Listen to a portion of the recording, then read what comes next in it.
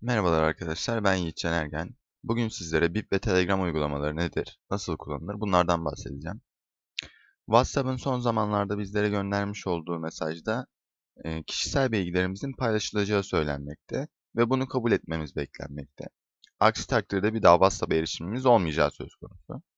Bu açıklamayla birlikte haberleşme uygulamalarındaki dengeler değişti. Ben de bugün sizlere WhatsApp'ın alternatif uygulamalardan ve bu uygulamaların nasıl kullanıldığından bahsedeceğim. Öncelikle ilk uygulamamızın adı BIP. Tamamen yerli bir uygulama olan BIP, Turkcell imzası taşıyor. Yerli olmasıyla birlikte elimdeki verilere göre BIP 192 ülkede aktif olarak kullanılmakta. Turkcell CEO'su Mehmet Erkan, yerli iletişim uygulamamızın son 24 saatte 1 milyondan fazla kez indirildiğini açıkladı. Şimdi BIP nasıl kullanılır ve e, yüklenir ona geçelim. Uygulama mağazamızın arama kısmına BIP yazıyoruz ve indir butonuna tıklıyoruz. Daha sonra uygulamayı açtığımız zaman karşımıza hadi bipleyelim butonu çıkıyor. O butona tıkladıktan sonra telefonunuza bir doğrulama kodu geliyor. Gelen kodu BIP uygulamasına giriyoruz. Böylelikle artık BIP hesabımızı oluşturmuş olduk. Şunu belirtmeliyim ki bu uygulamada konuştuğumuz her şey ülke sınırları içerisinde kalıyor. Başka ülkelerle herhangi bir paylaşım söz konusu değil. BIP'in bir başka özelliği ise diyelim ki ailemizde önemli konuşmalarımız var. Ancak telefonumuz kayboldu veya başka bir durum başına geldi. Bir, e, başka bir telefona geçmek zorunda kaldık. Böyle bir durumda BIP mesajlarımızı yeni telefona da aktarıyor ve hiçbir mesaj veya görsel kaybı yaşamıyoruz. BIP uygulamasında sadece mesajlaşma bulunmuyor. Sesli ve görüntülü sohbet gibi seçenekler de yer alıyor. BIP uygulaması üzerinden belge, kişi gönderebiliyorsunuz. Bunun yanında WhatsApp'tan farklı olarak bir BIP kullanıcısına para bile gönderebiliyorsunuz. Diğer BIP özelliklerini de şimdi sizlere listeleyeceğim arkadaşlar.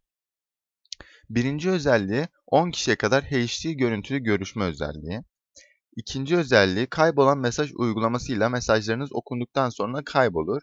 Ancak bu isteğe tamamen tercihe bağlı. Böyle olmasını istemezseniz özelliği kapatabilirsiniz. Üçüncü özellik yüzden fazla dilde anlık çeviri imkanı.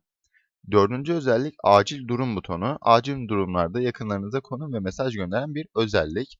Bunu yapmak için de BIP'ten daha öncesinde acil durum kişileri seçiyorsunuz. Acil durum kişilerini seçtikten sonra acil bir durumda e, butona tıkladığınız zaman bu seçmiş olduğunuz yakınlarınıza konum ve mesaj gönderiyor. Bence çok güzel bir özellik. Beşinci özellik HD fotoğraf ve uzun video gönderebilme. Baktığımız zaman WhatsApp'ta uzun video gönderemiyoruz. Maksimum 1 dakika 4 saniyelik videolar gönderebiliyoruz diye hatırlıyorum. Burada uzun video gönderebilme özelliği var. Bence bu da çok güzel bir özellik. Altıncı özellik sesli ve görüntülü görüşme özelliği. Yedinci özellik yer, yerel stickerlar özelliği. Bu WhatsApp'ta da var ama yerel bir şekilde değil tabii ki. Şimdi ikinci uygulamamıza geçelim. İkinci uygulamamızın adı Telegram. Telegram uygulaması çok eski bir uygulama. BIP'ten daha eski bir uygulama. Telegram uygulaması yerli bir uygulama değil. Bununla birlikte Rus menşeli bir firmaya ait. Telegram uygulamasında BIP uygulamasından farklı olan bir özellik var. Telegram'da telefon numaranızı vermeden de iletişim kurabilirsiniz. Kullanıcı ismi oluşturursunuz. Bir yakınınızı aramak istediğiniz zaman da yakınızın kullanıcı ismiyle onu ararsınız. WhatsApp uygulamasında belli bir boyuta kadar belge gönderebiliyoruz. Ancak Telegram'da böyle bir kısıtlama bulunmamakta. Bence bu da çok güzel bir özellik. Ee, istediğimiz boyutta belge gönderebiliyoruz Telegram üzerinden. Telegram'da da gizli sohbet bölümündeki mesajlarınızın kaydı hiçbir sunucuda tutulmuyor arkadaşlar. Gizli sohbet özelliğinde ekran görüntüsü alam alamıyorsunuz. Alabilseniz bile karşı tarafa ekran görüntüsü aldığınıza dair bir bildirim gidiyor. Sistem buna da izin vermiyor ayrıca. Konuşmalarınız ve belgeleriniz hiçbir şekilde Telegram sunucularının dışına çıkmıyor. Ancak şöyle bir durum var. Ahmet Hasan adındaki bir araştırmacı Telegram'ın bir güvenlik açığını bulmuş. İddiaya göre Telegram kişilerin konumlarını takip edebiliyor. Bazı hackerlar ise bu güvenlik açığından faydalanıyor. Telegram'ın daha birçok özelliği var ancak bu kötü özelliği diğer özelliklerini birazcık gölgede bırakıyor diyebilirim. Telegram'ın bu diğer özelliklerine ulaşmak için de Telegram'ın kendi sitesine girebilirsiniz. Burada anlatamıyorum çünkü çok fazla özelliği var. Şimdi baktığımız zaman yerli ve milli mesajlaşma ve haberleşme uygulamamız olan BIP'ten şaşmamamız gerekiyor. Çünkü Telegram'da bazı durumlar WhatsApp'tan farklı değil. Telegram'da her ne kadar gizlilik ve güvenlik e, odağında olsa da bazı güvenlik açıkları bulunuyor. Ve Rus menşeli bir uygulama olması da WhatsApp'tan farklı olmayabileceği anlamına geliyor. Bana kalırsa BIP çok daha kullanışlı ve güvenli bir uygulamadır. Şimdi arkadaşlar ekrandaki görselde çeşitli uygulamaların hangi bilgilerimize ulaştığını görebilmekteyiz. Öncelikle WhatsApp'la başlamak istiyorum.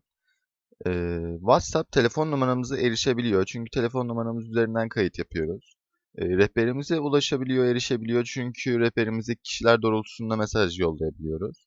Cihaz kimliğimize erişebiliyor. Cihaz kimliğimize erişebilme olayı nedir? Telefonumuzun bilgilerine, telefonumuzun barkoduna ulaşabiliyor yaklaşık olarak konumuza ve kesin olarak konumuza erişebiliyor. Satın alma geçmişimize erişebiliyor. İşte bu çok kötü bir şey. Çünkü örneğin e, satın almış olduğunuz bir ürün e, Facebook'ta vesaire karşınıza reklam olarak çıkabiliyor. E, bu kötü bir şey. Fotoğraflarınıza ve videolarınıza, ses verilerinize erişemiyor diyor ama bu e, izin verirseniz eğer bunlara da erişebiliyor. Performans verilerine erişebiliyor ayrıca.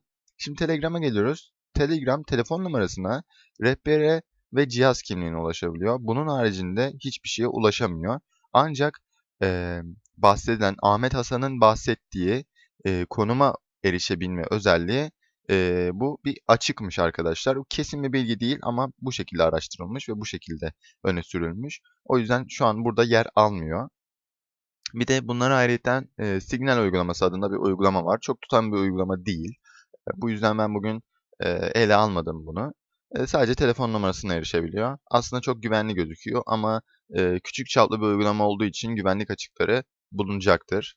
BIP'e baktığımız zaman BIP her şeyimize erişebiliyor ama BIP'in de güzelliği yerli ve milli olması. Yani ülke sınırları dışına çıkamayacak e, olduğunu bilmemiz. Bu da güzel bir uygulama. E, dediğim gibi arkadaşlar bence en iyisi BIP. Bütün bilgilerimize ulaşıyor ancak e, bu bilgilerin ülke dışına çıkmayacağına eminiz. Bir de Turkcell imzası taşıyor. E, yerli ve milli. Telegram ise Rus menşeli bir firmaya ait olduğu için e, ve güvenlik açıkları olduğu için e, bence tercih etmememiz gerekiyor. Bunlar benim şahsi fikirlerim. Siz de şahsi fikirlerinizi belirtebilirsiniz. Beni dinlediğiniz için teşekkür ediyorum. Başka proje ve ödevlerde görüşmek üzere. Hoşçakalın arkadaşlar.